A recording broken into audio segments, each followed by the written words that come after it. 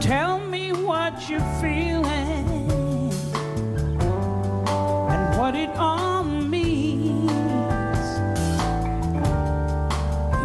could be defensive